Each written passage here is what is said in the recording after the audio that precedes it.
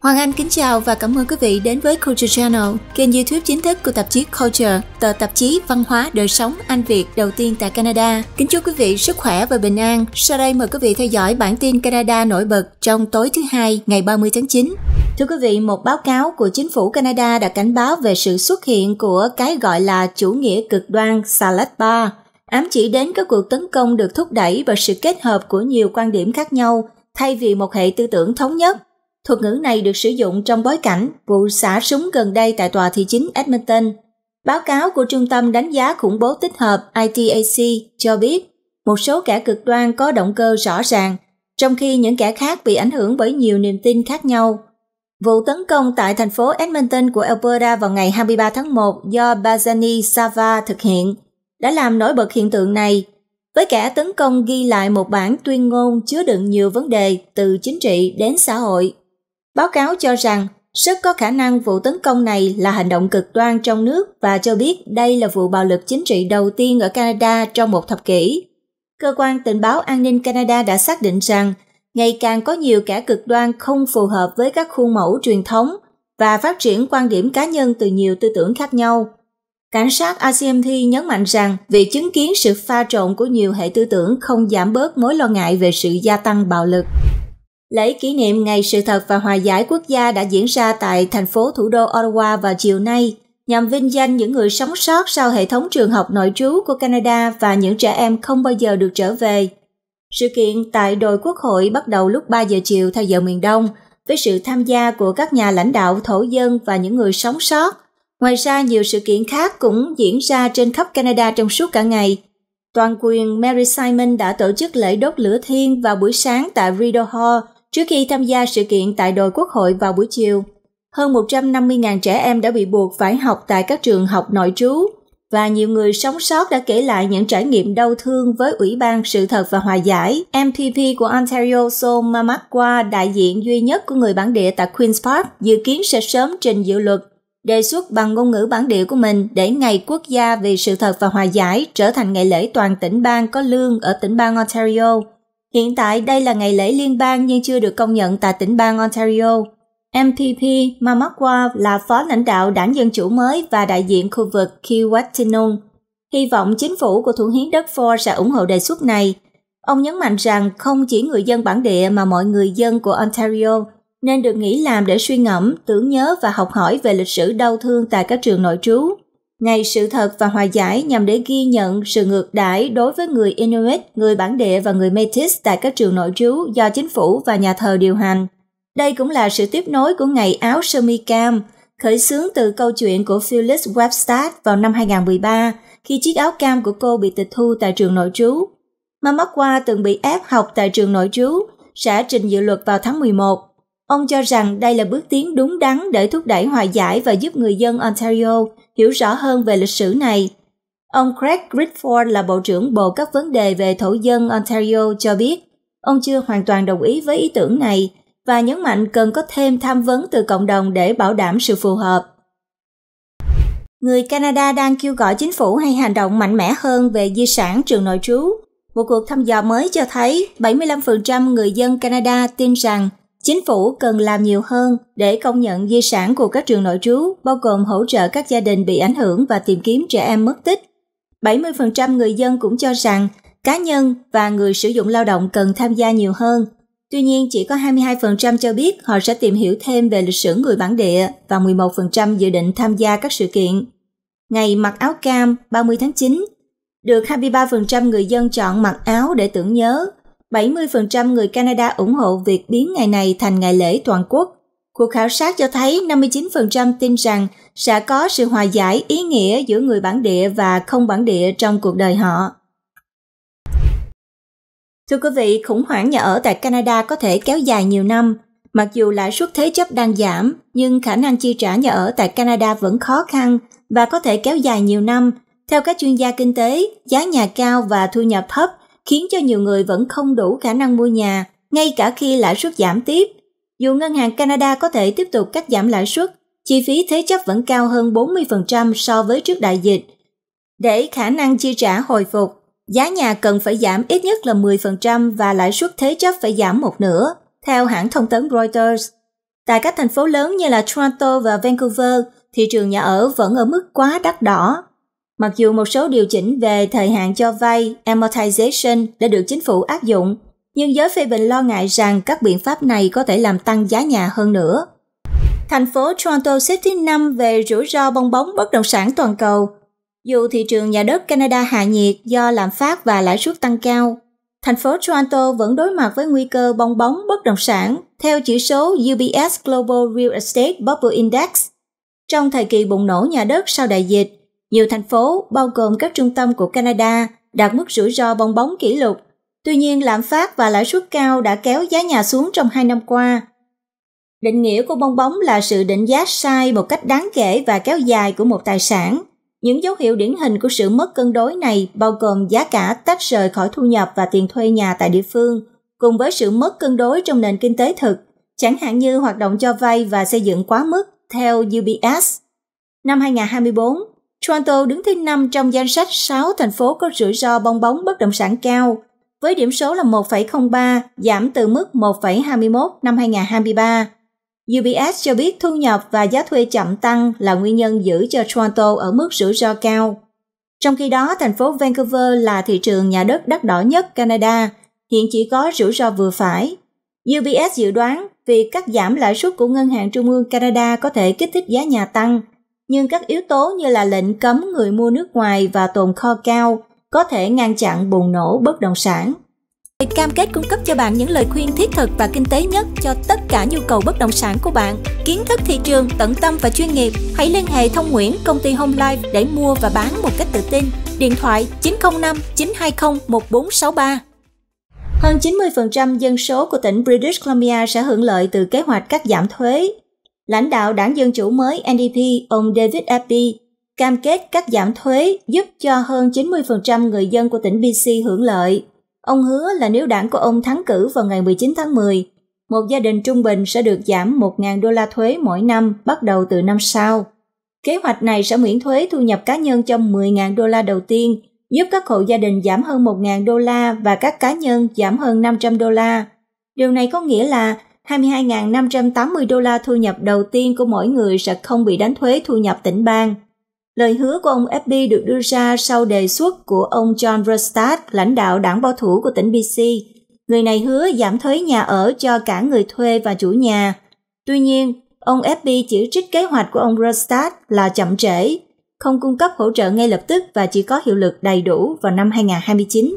Năm 2023, tỷ lệ sinh sản ở Canada giảm xuống mức thấp nhất lịch sử, đặc biệt là ở tỉnh bang British Columbia tức là tỉnh BC, theo thống kê Canada tỷ lệ sinh toàn quốc đã giảm còn 1,26 trẻ em trên một phụ nữ, đưa Canada vào nhóm các quốc gia có tỷ lệ sinh thấp nhất thế giới như là Hàn Quốc, Tây Ban Nha, Ý và Nhật Bản.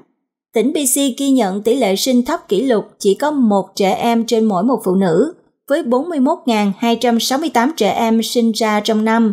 Tỉnh này cũng có độ tuổi sinh con trung bình cao nhất cả nước, là 32,6 tuổi so với mức trung bình toàn quốc là 31,7 tuổi. Tỷ lệ sinh cao nhất tại Canada thuộc về Nunavut với 2,48 trẻ em mỗi một phụ nữ. Theo sau là tỉnh bang Saskatchewan với 1,63 trẻ em mỗi một phụ nữ. Tỷ lệ sinh giảm phần lớn do áp lực tài chính và thay đổi lối sống. Một nghiên cứu của StatCan cho thấy chi phí sinh hoạt, lạm phát và lãi suất cao đã tạo ra nhiều thách thức cho người trẻ, ảnh hưởng đến kế hoạch gia đình. 38% người từ 20 đến 29 tuổi cho biết họ không đủ khả năng tài chính để sinh con trong 3 năm tới và 32% lo ngại về nhà ở phù hợp để bắt đầu gia đình. Với các bạn đang có ý định sinh em bé, và nếu bạn đang tìm một cái tên cho baby, danh sách này có thể mang lại nguồn cảm hứng. Tuần trước, thống kê Canada đã công bố danh sách 20 tên hàng đầu cho trẻ sơ sinh năm 2023. Tên phổ biến nhất cho bé trai và bé gái năm 2023 vẫn là Noah và Olivia, theo trang Baby Names Observatory. Và tên Liam tiếp tục đứng thứ hai cho bé trai giống như năm 2022 và Emma vẫn là tên phổ biến thứ hai cho bé gái. Theodore đã thay thế William ở vị trí thứ ba cho bé trai, trong khi Charlotte giữ vững vị trí thứ ba cho bé gái. Leo và Emilia vẫn đứng thứ tư. William thì rơi xuống thứ năm còn Sophia giữ nguyên vị trí số 5. Trong top 10 của bé trai, Đứng thứ sáu còn có Olivia, thứ bảy là Lucas, thứ tám là Thomas, Benjamin và Jack. Còn bé gái, đứng thứ sáu là Mia, thứ bảy là Chloe. Rồi đến Mila, Sophia và Alice. Tỉnh bang Alberta thúc đẩy các công ty khai thác dầu cát thuê người lao động địa phương là một bước đi nhằm để củng cố cộng đồng. Chính phủ tỉnh bang Alberta đang khuyến khích các công ty khai thác dầu cát thuê nhiều người lao động địa phương hơn nhằm để giảm sự phụ thuộc vào công nhân tạm thời và củng cố các cộng đồng địa phương. Ông Brian Jean là Bộ trưởng Năng lượng và Khoáng sản Alberta cho rằng các trại công nhân và mô hình bay đến bay đi đang ảnh hưởng tiêu cực đến các thị trấn khai thác tài nguyên như là Fort McMurray, làm chúng suy yếu và lấy đi thu nhập khỏi cộng đồng. Bộ trưởng Jin nhấn mạnh điều đó không hợp lý và thật là kinh tởm. Ông nói và kêu gọi xây dựng cộng đồng địa phương ổn định hơn. Sáng kiến này được sự ủng hộ của Sandy Bowman là thị trưởng khu tự trị Wood Buffalo. Người tin rằng nếu người lao động có cơ hội sống tại địa phương, họ sẽ chọn định cư tại khu vực này. Thủ hiến Alberta Daniel Smith muốn khuyến khích các công ty thuê người lao động địa phương thông qua các biện pháp như hoàn thuế và cải thiện các chuyến bay ngắn, thay vì áp dụng hình phạt. Các công ty như là Suncor và Imperial Oil đã bày tỏ sự ủng hộ thận trọng đối với việc tăng cường lực lượng lao động địa phương, nhưng thừa nhận những thách thức về mặt hậu cần. Các chuyên gia như là Heather Exner Pirot cho rằng việc khuyến khích người lao động sống trong khu vực là phương pháp tốt nhất vì các công ty dầu cát từ lâu đã phụ thuộc vào mô hình bay đến bay đi kể từ những đợt bùng nổ dầu mỏ trước đây. Tuy nhiên, việc chuyển đổi hoàn toàn sang lực lượng lao động địa phương có thể không khả thi do những vấn đề an toàn và khoảng cách theo phòng thương mại Fort McMurray. Công nhân bến cảng Montreal bắt đầu cuộc đình công 3 ngày tại hai bến cảng. Công nhân bến cảng Montreal đã bắt đầu cuộc đình công kéo dài 3 ngày vào sáng thứ Hai hôm nay, làm ngừng hoạt động tại hai bến cảng xử lý hơn 40% lưu lượng hàng hóa container tại cảng lớn thứ hai của Canada. Khoảng 350 công nhân đã rời bỏ công việc tại các bến Vio và Maisonneuve Thomond lúc 7 giờ sáng nay. Trong bối cảnh đàm phán hợp đồng đang diễn ra, cuộc đình công dự kiến sẽ kéo dài đến sáng thứ Năm. Công đoàn liên kết với Liên đoàn Công nhân Canada cho biết hành động này nhằm gia tăng áp lực đối với yêu cầu về lịch làm việc thường xuyên và tăng lương. Trước đó, Hiệp hội các nhà tuyển dụng hàng hải MEA cho biết đã thử tất cả các biện pháp có thể để tránh cuộc đình công bao gồm cả hòa giải và phiên điều trần khẩn cấp trước Hội đồng quan hệ công nghiệp Canada. Cuộc đình công tại cảng Montreal diễn ra một ngày trước khả năng là xảy ra một cuộc đình công tại các cảng của Mỹ từ Maine đến Texas nếu một công đoàn đại diện cho khoảng 45.000 công nhân bến cảng thực hiện lời đe dọa đình công. Một cuộc đình công kéo dài có thể làm tăng giá hàng hóa trên toàn bộ lục địa và gây ra tình trạng thiếu hàng tại các nhà bán lẻ khi mùa mua sắm lễ hội đến gần – Hàng chục công nhân đã cầm biển hiệu và thu hút tiếng còi từ các tài xế đi qua tại một số lối vào của cảng dài 26 km ở đông nam của Montreal. Một số biển hiệu yêu cầu đến lúc đàm phán, trong khi biển hiệu khác thì phản đối công việc theo hợp đồng và ủng hộ công việc toàn thời gian. Người phát ngôn công đoàn là Michelle Murray cho biết tại một buổi họp báo rằng công đoàn sẵn sàng hoãn đình công nếu nhà tuyển dụng giải quyết hai vấn đề đó là ca làm việc không ổn định và việc giảm sử dụng các nhân viên giám sát cấp cao trong quá trình vận hành. Hợp đồng của công nhân bến cảng với Hiệp hội các nhà tuyển dụng hàng hải MEA đã hết hạn vào ngày 31 tháng 12 năm ngoái. Mục tiêu của cuộc đình công một phần tại Montreal là gia tăng áp lực lên các nhà tuyển dụng, trong khi vẫn để ngỏ khả năng đàm phán và thực hiện các hành động tiếp theo. Cảng Montreal là rất quan trọng đối với chuỗi cung ứng của quốc gia, Bộ trưởng Giao thông Anita Anand cho biết, và nhấn mạnh là các bên cần phải trở lại bàn đàm phán và làm việc để đạt được thỏa thuận. Tỉnh bang Ontario đã xem xét mua lại cao tốc 407 trước khi công bố kế hoạch xây một đường hầm của thủ hiến Doug Ford.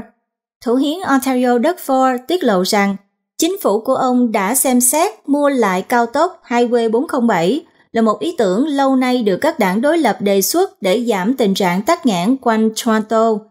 Tuy nhiên, trọng tâm đã chuyển sang kế hoạch đầy tham vọng của thủ hiến đất Ford là xây dựng một đường hầm cao tốc và vận chuyển dưới Highway 401. Trong một cuộc phỏng vấn, thủ hiến Ford giải thích rằng dự án này có thể dài tới 55 km với một nghiên cứu khả thi đang được tiến hành để đánh giá chi phí và phạm vi. Ông nhấn mạnh rằng có đội ngũ chuyên gia khoan đường hầm đúng đắn sẽ làm cho dự án khả thi. Thủ hiến Ford thừa nhận rằng mặc dù việc mua lại Highway 407 hiện được định giá là khoảng 35 tỷ đô la đã được cân nhắc, nhưng các nghiên cứu cho thấy đường cao tốc sẽ đạt công suất tối đa trong vòng 20 đến 25 năm, khiến cho nó ít khả thi hơn. Phe đối lập đã chỉ trích chi phí cao khủng tiềm tàng của dự án đường hầm này, xem xét khoản nợ của tỉnh bang Ontario đồng thời đề xuất trợ cấp phí cầu đường cho xe tải để sử dụng Highway 407 thay vào đó. Tuy nhiên, Thủ hiến Ford đã cam kết với dự án đường hầm này, tin rằng đó là điều cần thiết để giải tỏa các tuyến đường cao tốc 400 series bị tắc nghẽn cho các thế hệ tương lai. Mùa thu năm nay tại tỉnh bang Ontario đã bắt đầu với nhiệt độ dễ chịu và duy trì ở mức giữa 20 độ C trên khắp tỉnh bang, theo dự báo mới nhất từ Cơ quan Môi trường và Biến đổi Khí hậu Canada, thời tiết ấm áp này có thể kéo dài đến cuối năm. Dự báo từ Cơ quan Môi trường cho thấy Ontario có khả năng cao sẽ trải qua nhiệt độ cao hơn bình thường trong giai đoạn từ tháng 10 đến tháng 12.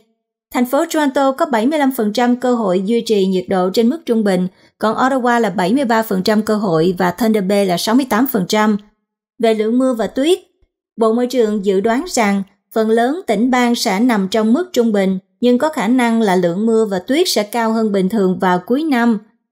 Dự báo cho thấy lượng tuyết tan tại tỉnh bang Ontario sẽ thấp hơn bình thường. Toronto có 57% cơ hội thấy lượng tuyết dưới mức trung bình và Thunder Bay thì có tới 77% cơ hội tương tự. Cảnh sát RCMP đang truy tìm tài xế bỏ trốn sau vụ va chạm T-bone tại San Albert. Cảnh sát RCMP tại San Albert của Alberta đang tìm kiếm một tài xế có liên quan đến một vụ tai nạn bỏ trốn, xảy ra vào sáng Chủ nhật lúc 8 giờ 20 gần đường St. Albert Trail và Coal Mine Road. Một chiếc Dodge Caravan màu trắng đã bị một chiếc xe tải pickup truck màu xám đậm hoặc đen tông vào ngang hông và chiếc xe tải pickup truck này đã nhanh chóng bỏ trốn về hướng nam trên đường St. Albert Trail sau vụ va chạm. Tài xế của chiếc Dodge đã được đưa đến bệnh viện với vết thương không nguy hiểm đến tính mạng. Cảnh sát kêu gọi công chúng hỗ trợ bằng cách cung cấp lời khai hoặc video từ camera hành trình để giúp truy tìm tài xế đã bỏ trốn. Ban nhạc Oasis đã gây bất ngờ cho người hâm mộ Canada khi thông báo về tour tái hợp vào tháng trước, kết thúc 15 năm gián đoạn và dường như chấm dứt mâu thuẫn lâu dài giữa hai anh em Liam và Noel Gallagher. Sau khi công bố các buổi biểu diễn tại Vương quốc Anh, Oasis đã xác nhận là sẽ mở rộng tour diễn đến Bắc Mỹ vào năm 2025. America Oasis is coming. Bạn có một cơ hội cuối cùng để chứng minh rằng bạn luôn yêu mến chúng tôi. Ban nhạc Britpop nổi tiếng với các hit như là Wonderwall và Don't Look Back in Anger chia sẻ trong một thông báo. Tour diễn sẽ bao gồm 5 buổi biểu diễn tại các sân vận động ở Toronto, Chicago, East Rutherford của New Jersey, Los Angeles và Mexico City Ban nhạc rock Mỹ Cage the Elephant sẽ mở màn cho tour diễn. Vé cho tour Bắc Mỹ sẽ được mở bán vào lúc 12 giờ trưa theo giờ địa phương vào thứ Sáu. Lịch diễn của Oasis tại Bắc Mỹ là 24 tháng 8 tại Toronto, 28 tháng 8 tại Chicago, 31 tháng 8 tại East Rutherford, New Jersey, 6 tháng 9 tại Los Angeles và 12 tháng 9 tại Mexico City. Hãng xe Ford tặng bộ sạc xe điện miễn phí để thúc đẩy doanh số. Ford Motor sẽ cung cấp bộ sạc xe điện miễn phí và hỗ trợ lắp đặt cho khách hàng mua xe điện nhằm tăng doanh số và giải quyết nỗi lo về quãng đường di chuyển. Chương trình này kéo dài từ thứ ba đến cuối năm áp dụng cho ba mẫu xe điện của xe Ford là Mustang Mach-E, xe bán tải F150 Lightning và xe van e-Transit. Đây là nỗ lực nhằm để giảm bớt lo ngại của người tiêu dùng về việc xe hết pin khi di chuyển xa Thủ hiến Ford cho biết hơn 80% thời gian sạc xe điện diễn ra tại nhà và hy vọng rằng việc tặng bộ sạc sẽ giúp cho khách hàng cảm thấy an tâm hơn, xem xe điện giống như là sạc điện thoại qua đêm. Khách hàng mua xe trong thời gian khuyến mãi sẽ nhận được bộ sạc trị giá 1.310 đô la và hỗ trợ lắp đặt hoặc nhận 2.000 đô la tiền mặt nếu không thể lắp bộ sạc tại nhà. Mặc dù doanh số xe điện của Ford tăng 58% so với năm ngoái, nhưng chỉ chiếm 4,4% tổng doanh thu tại Mỹ. Hãng xe Ford đang gặp khó khăn với tăng trưởng chậm, buộc phải cắt giảm sản xuất và giá bán, dự kiến lỗ tới 5,5 tỷ đô la từ mảng xe điện trong năm nay. Liệu các công cụ kỹ thuật số có phải là cách để các công ty giữ chân người lao động theo giờ hay không? Đại dịch COVID-19 đã nâng cao nhận thức của người lao động theo giờ về giá trị của họ, khiến cho người sử dụng lao động phải điều chỉnh để đáp ứng nhu cầu về giờ làm việc linh hoạt. WorkJam là nền tảng kỹ thuật số ra mắt năm 2014, đang hỗ trợ các công ty như là Target và Hilton cung cấp công cụ cho nhân viên không hưởng lương, cho phép họ đổi ca, hoàn thành đào tạo và nhận lương sớm. CEO Steve Kramer chia sẻ rằng việc giữ chân nhân viên là rất quan trọng nhất là trong bối cảnh thiếu hụt lao động với chi phí tuyển dụng có thể lên tới 8.000 đô la mỗi một nhân viên mới. Ông cho biết nhiều công ty đang thay đổi cách tiếp cận bằng cách tạo môi trường làm việc linh hoạt và tập trung vào đào tạo liên tục. Bằng việc cung cấp khả năng truy cập tiền lương sớm và tạo điều kiện làm việc dễ dàng, các công ty có thể giữ chân người lao động theo giờ và cải thiện sự hài lòng của nhân viên. Tòa án Thái Lan ra lệnh dẫn độ một nhà hoạt động người Việt Nam đang xin tị nạn tại Canada. Tòa án hình sự Bangkok đã ra lệnh dẫn độ Y Quỳnh Bidap, nhà hoạt động người Việt Nam, bị bắt giữ tại Thái Lan từ tháng 6. Theo yêu cầu của chính phủ Việt Nam, dù các tổ chức nhân quyền lo ngại ông có thể gặp nguy hiểm khi bị trả về. Bidap là đồng sáng lập tổ chức Montagna Stand for Justice đã bị kết án vắng mặt tại Việt Nam vào tháng 1 với cáo buộc liên quan đến bạo loạn chống chính phủ ở Đắk Lắk nhận án tù 10 năm. Ông đang xin tị nạn tại Canada và đã gặp đại diện Đại sứ quán Canada trước khi bị bắt. Luật sư của Bidap đang chuẩn bị kháng cáo và kêu gọi Thái Lan không thực thi lệnh dẫn độ vì lý do nhân quyền. Nhóm Human Rights Watch cảnh báo rằng, nếu bị trả về thì Bidap sẽ đối mặt với nguy hiểm và kêu gọi Thái Lan thả tự do cho ông. Sau đây là phần cập nhật nhanh về tỷ giá hối đoái. Thưa quý vị, vào cuối ngày giao dịch hôm nay, đồng đô la Canada có mức giá là 0,7408 đô la Mỹ và bằng 0,6633 đồng euro. Một đô la Canada tương đương 18.186 đồng Việt Nam, một đô la Mỹ tương đương 24.593 đồng Việt Nam. Giá vàng là 2.634,58 đô la Mỹ một ounce, tương đương 3.562 đô la Canada.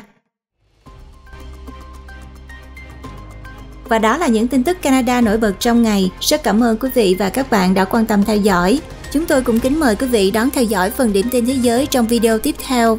Kênh Culture Channel cập nhật những tin tức nóng và nổi bật nhất từ Canada và toàn cầu và được cập nhật mới hàng ngày. Kính mời quý vị đón theo dõi. Và xin quý vị đừng quên nhấn nút like, subscribe để đăng ký kênh, chia sẻ phản hồi và chia sẻ video để ủng hộ cho kênh và để không bỏ lỡ bất kỳ tin tức mới nào. Kính chúc quý vị luôn nhiều sức khỏe và bình an và kính chào tạm biệt.